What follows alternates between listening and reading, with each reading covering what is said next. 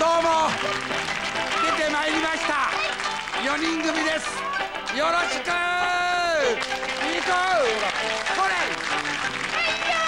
毎度皆様おなじみの名付けて玉川カルテット男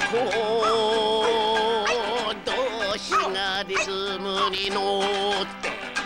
歌に笑いに同曲に。が光るお笑いの。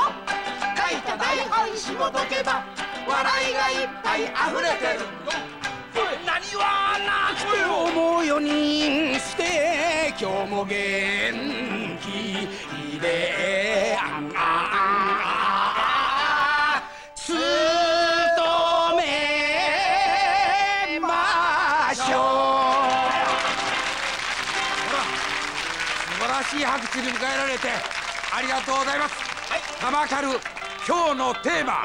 任居平野仁吉行ってみよう。双葉ちゃん行こう。ほら。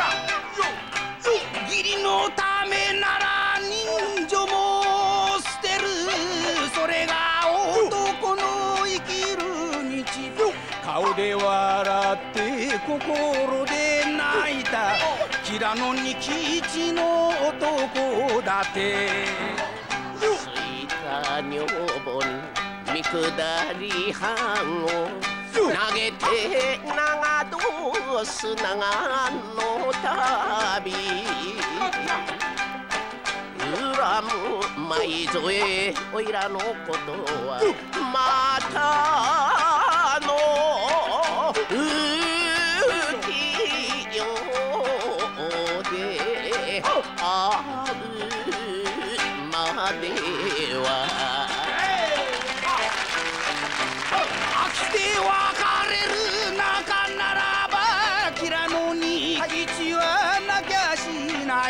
暗い辛いだろうがなおきく俺を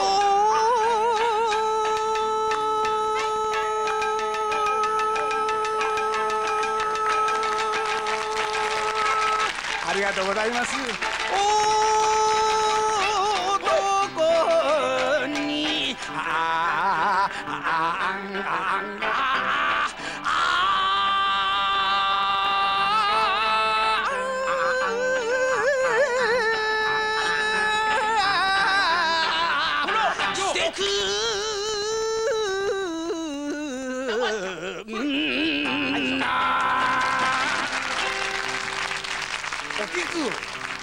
おきく。はい。おきくでございます。何？は？おめえおきくか？はい。おらまたピカチュウかと思ったよ。やだねこの人。奥歯に物の挟まったような言い方をして。お前さん疲れてんじゃないのかい？疲れた方っていや。のんきなこと言ってる場合じゃねえそれじゃあ何にも言うことはねえ。おきくこれを持って今すっごやね帰ってくれ。なんだいこりゃ。グローブみたいな手じゃないこんなこと出しやがって。離縁状だよ。用がないや私は。おめえと夫婦でいたんじゃこのキラの仁吉の男が立たねえんだ。男と女の別れってどうしてこんなに苦しいものなのか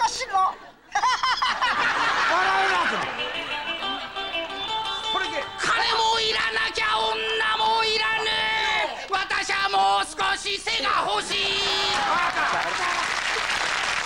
あっち俺も聞くと別れてこれでさっぱりしたで明日二人で食わない子あの男次郎に掛け合って荒神山を返せばよしもしも返さなかったら4月8日のお釈迦様の門をきっ。くり返して間違ったら伊勢中の博打打ちを相手に真の男の肝った葉を見せてやるんでありがてえありがてえありがてえ。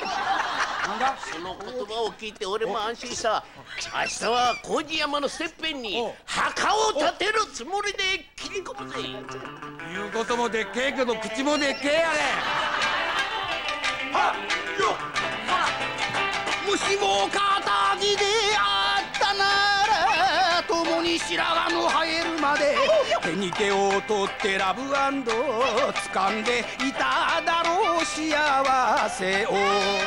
その幸せを義理のため捨てて男の世界に生きた。平野仁吉の物語はちょうど時間となりました。火曜浪曲カルテットまたの会う日を楽しみに。はいありがとうございました。